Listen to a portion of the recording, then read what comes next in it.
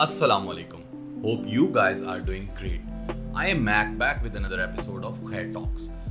यार, किसी भी चीज़ के बारे में सोचना तो एक फितरी अमल है लेकिन उस सोच को अपनी फ़िक्र का मरकज बना लेना या फिर उस सोच को अपने जहर पर सवार कर लेना कि ये सब भी नेचुरल है आप शायद समझ गए होंगे मैं ओवर थिंकिंग की बात कर रहा हूँ ओवर थिंकिंग है क्या और साइकोलॉजिकली ये कैसा फिनोमेना है और या हम क्या जान सकते हैं कि एक मुसलमान के लिए ओवर थिंकिंग क्या होती है?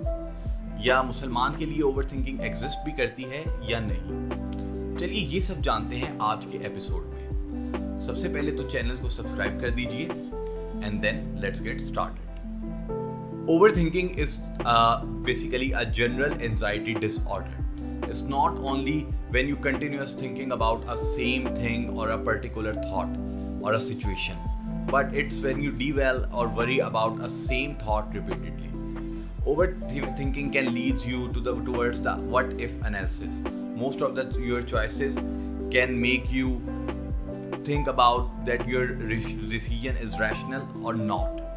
And in most of the cases overthinking can be a chronological disorder. Chronological disorder means that it can impact your habit of sleeping your habit of uh, getting in a relationships and your get uh, your habit of meeting with other peoples.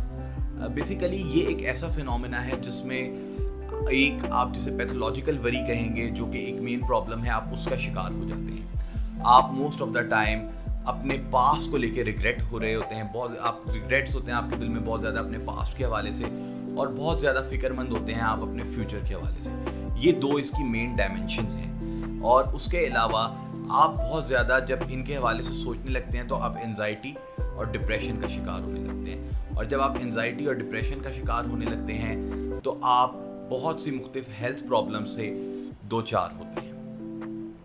Jessica फॉले जो कि एक बहुत famous psychotherapist है in the messages ही just set और इनका एक बहुत फ़ेमस कोट है the hallmarks of over thinking is that it is unproductive according to her get having so much in your head, it's normal.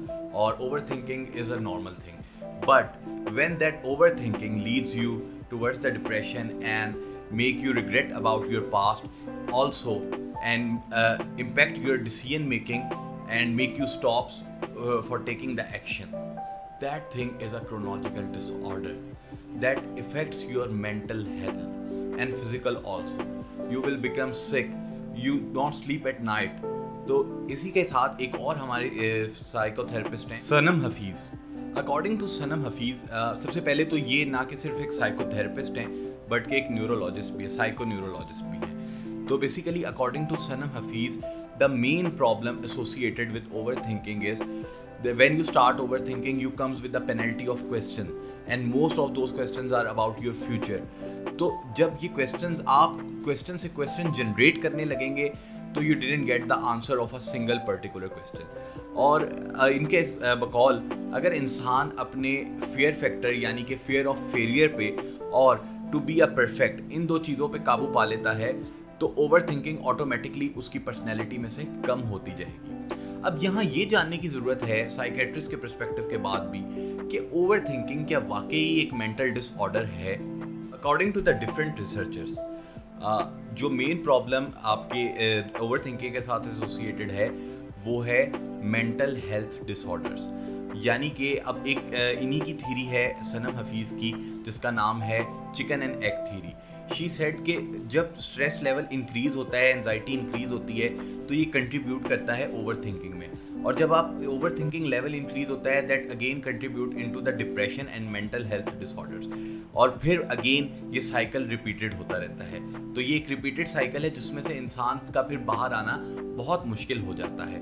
और जैसे का फॉले के अकॉर्डिंग भी, जब भी कोई इंसान कोई ट्रामेटिक इवेंट या कोई हादसाती चीज़ का शिकार होता है या हादसा किसी हादसे का शिकार होता है तो वो हाइपर विजिलेंस का भी शिकार हो जाता है। यानी कि मोस्ट ऑफ़ द टाइम उसको, उसके जहन में एक खौफ बैठ जाता है कि ये चीज़ मेरे से ही एसोसिएटेड है और ये मेरे साथ रिपीटेडली होगी। जैसा कि आप किसी की भी एग्ज़ाम्पल ले लें कि वो एक कार एक्सीडेंट उसको फेस करना पड़ा। आफ्टर गेटिंग द रिकवर जब उसको दोबारा गाड़ी चलाने के लिए कहा गया तो गाड़ी चलाते ही उसको वही चीज़ें उसके दिमाग में दोबारा आने लग गई, जिसकी वजह से वो हाइपर विजिलेंस का शिकार हुआ और वो आगे नहीं बढ़ पाया और that person get into the dilemma of over thinking वो कोई चॉइस ही नहीं अपने लिए सिलेक्ट कर पाया कि उसको किस डायरेक्शन में जाना चाहिए। तो that thing can also leads you the depression towards the depression and different mental health disorders लेकिन अब यहाँ पे हमने ओवर थिंकिंग को तो जान लिया है कि किस तरह हमारे से एसोसिएट है या हमारी पर्सनैलिटीज़ को किस तरह ड्राइव करती है। लेकिन एक मुसलमान की पर्सनैलिटी में ओवर थिंकिंग की क्या कंट्रीब्यूशन है?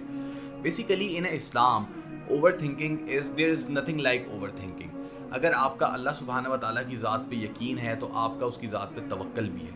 और यू नो कि he is the best planner and in Quran अल्लाह सुबहान व ताली also stated that he plans everything best for you और कभी भी आपको फिर आपकी आजमाइश से, आपकी कुत से ज़्यादा बड़ी आजमाइश नहीं आती। इस पर भी हमारा यकीन है। तो फिर ये बात भी हमें समझ लेनी चाहिए कि ओवर थिंकिंग एक शैतान का वेपन है।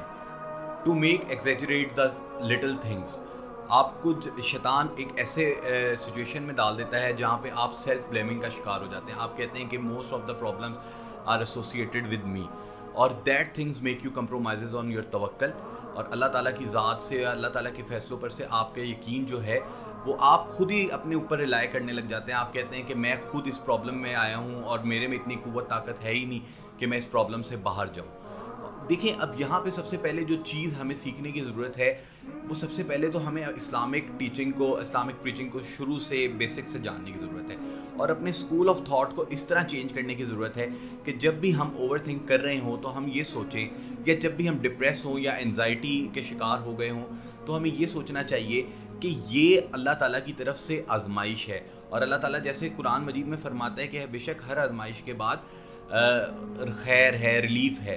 तो हमें ये इस वक्त, हमारी इंटेंशन ये होनी चाहिए कि if I just get associated with अल्लाह सुबहान व ताला इन दिस स्टेट तो इन इसके बाद मेरे लिए जो कुछ भी है, वो मेरे हक में बेहतर है।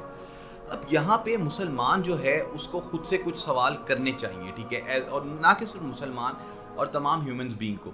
जैसे कि आप भी या मैं भी हम खुद से ये सवाल करें कि जब भी मैं सोचना शुरू करता हूँ तो क्या मैं अपनी सोच को अपने मुताबिक रोक देता हूँ या फिर मैं अपनी सोच के मुताबिक चलता हूँ? या फिर मोस्ट ऑफ़ द टाइम कि जब मैं कुछ सोच रहा होता हूँ तो मुझे पता होता है कि मैं किस स्टेट ऑफ़ थॉट में हूँ, ठीक है? या फिर हम ये भी कह सकते हैं कि अगर हम जब किसी चीज़ को सोच रहे होते हैं तो उसके सोचने के साथ साथ हम बहुत ज़्यादा उसको फील कर रहे होते हैं कि ये हमने, हम हम ही इस चीज़ के ज़िम्मेदार हैं। आप सेल्फ रियलाइजेशन एक तरह की कह लें, लेकिन आप ये रियलाइज़ नहीं कर रहे होते ज़्यादातर कि ये प्रॉब्लम आपकी वजह से है। आप ये रियलाइज़ कर रहे होते हैं कि ये सिर्फ़ प्रॉब्लम ही आपके साथ है और आप इससे बाहर आ ही नहीं सकते। तो ये सब जब अगर आपके सवाल, इन सवाल के आंसर आपके जहन में हाँ की शक्ल में है तो मैं और आप, हम सब एक ओवर थिंकर या इस ओवर थिंकिंग का शिकार हो चुके हैं। अब यहाँ हमें खुद पे काम करने की ज़रूरत है। बेसिकली जो चीज़ हमें ओवर थिंकिंग से बचा सकती है, वो हमें अपने स्कूल ऑफ़ थॉट्स को इम्प्रूव करने की ज़रूरत है। एक इस्लामिक फंडामेंटल्स को समझने की ज़रूरत है और सबसे ज़्यादा जो बींग अ मुस्लिम हमारे लिए एक चीज़ गार्ड बन सकती है ओवर थिंकिंग के हवाले से, वो अल्लाह सुबहान व ताली का तवक्ल है। तो आई होप कि ये सब बातें जो हैं, ये कहीं ना कहीं हमें ज़िंदगी में फ़ायदा पहुँचाएँगी। This is all from our side वो just end up with the episode सबसे पहले तो मैं आपसे ये चाहूँगा कि आप हमें ज़्यादा से ज़्यादा अपना वैल्यूएबल फीडबैक दें। और उसके अलावा कोई ऐसा topic that you want us to make a video on वो हमें ज़रूर कमेंट सेक्शन में बताएँ। आ, हम आपके फीडबैक को लेते ही अपने कंटेंट को इम्प्रूव कर सकते हैं। कंटेंट के हवाले से इन इन फ्यूचर और हमने कुछ प्लान किया हुआ है अभी पॉडकास्ट के सेशंस हैं। डेली व्लॉगिंग को भी स्टार्ट करेंगे इन तो आपकी ज़्यादा से ज़्यादा सपोर्ट की ज़रूरत है काइंडली शेयर किया करें सब्सक्राइब करें हमारे चैनल को। मैं स्टैट्स देखता रहता हूँ। रीच आती है लेकिन उस हिसाब से रिस्पॉन्स नहीं आता। तो फिर हमें अगर इसमें कहीं इम्प्रूवमेंट की जहाँ कहीं भी ज़रूरत है, हमें बताएँ भी, ताकि हम अपने इस खैर के काम को भी इम्प्रूव कर सकें। इसके अलावा मज़ीद अपने कॉन्टेंट को और बेहतर भी बना सकें। So this is Ahsan Khalid signing out उम्मीद करता हूँ कि आपसे नेक्स्ट एपिसोड में किसी अच्छे कंटेंट किसी अच्छे टॉपिक के साथ या किसी मज़ीद हमारी साइकोलॉजिकल प्रस्पेक्टिव के हवाले से या फिर कोई डेली रूटीन के हवाले से कोई ऐसा टॉपिक उसके बतौर आपसे और आपका और मेरा इंट्रैक्शन होगा। तो बस kindly like share and subscribe this video and this channel also बाकी अपनी दुआओं में याद रखिएगा। जजाकल्ला